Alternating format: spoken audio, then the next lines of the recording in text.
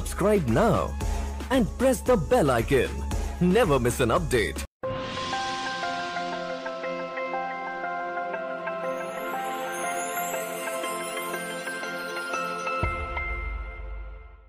Saint തോമസിന്റെ തപാൽ സ്റ്റാമ്പിന് അഞ്ചര പതിറ്റാണ്ട് ഭാരതത്തിന്റെ അപ്പോസ്തോലനായ സെയിന്റ് തോമസിനെ ആദരിച്ചുകൊണ്ട് ഭാരത തപാൽ വകുപ്പ് ഇറക്കിയ ബഹുവർണ സ്റ്റാമ്പിന് അഞ്ചര ദശാബ്ദം പൂർത്തിയായി സ്റ്റാമ്പ് റിലീസ് ചെയ്ത ആ ദിനം ഭാരതീയർക്ക് പ്രത്യേകിച്ച് കേരളീയർക്ക് അഭിമാന നിമിഷമായിരുന്നു.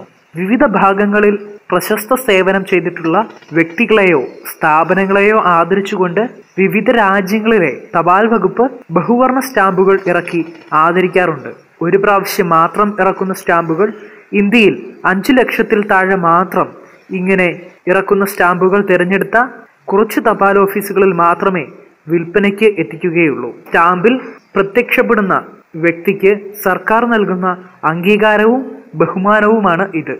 ആയിരത്തി തൊള്ളായിരത്തി അറുപത്തി എട്ട് ഡിസംബർ രണ്ടിന് ഇറക്കിയ പതിനഞ്ച് പൈസ എന്നു വില രേഖപ്പെടുത്തിയ റെഡിഷ് പർപ്പിൾ നിറത്തിലുള്ള സ്റ്റാമ്പിൽ സെയിന്റ് തോമസിന്റെ ചിത്രമാണ് ആലേഖനം ചെയ്തിട്ടുള്ളത്.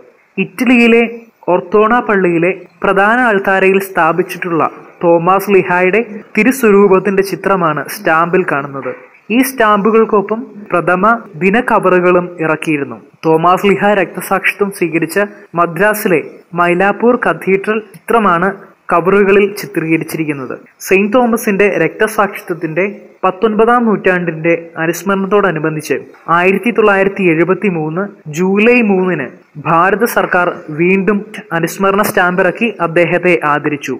കടുപ്പം കുറഞ്ഞ നീല നിറത്തിലുള്ള ഈ സ്റ്റാമ്പിൽ ഇംഗ്ലീഷിലും ഹിന്ദിയിലും ഇരുപത് പൈസ എന്ന് രേഖപ്പെടുത്തിയിട്ടുണ്ട്. മൈലാപ്പൂർ പള്ളിയിൽ സ്ഥാപിച്ചിട്ടുള്ള കുരിശിന്റെ ചിത്രമാണ് ഇതിൽ ആലേഖനം ചെയ്തിട്ടുള്ളത്. സെയിന്റ് തോമസിന്റെ ബഹുമാനാർത്ഥം ഇറക്കിയ ഈ രണ്ടുതരം സ്റ്റാമ്പുകളും സ്വന്തമാക്കാൻ ആദ്യ ദിവസം തന്നെ എത്തിയവർ വളരെ കൂടുതലായിരുന്നു.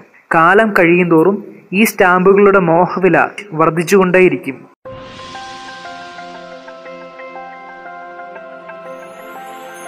Subscribe now and press the bell icon. Never miss an update.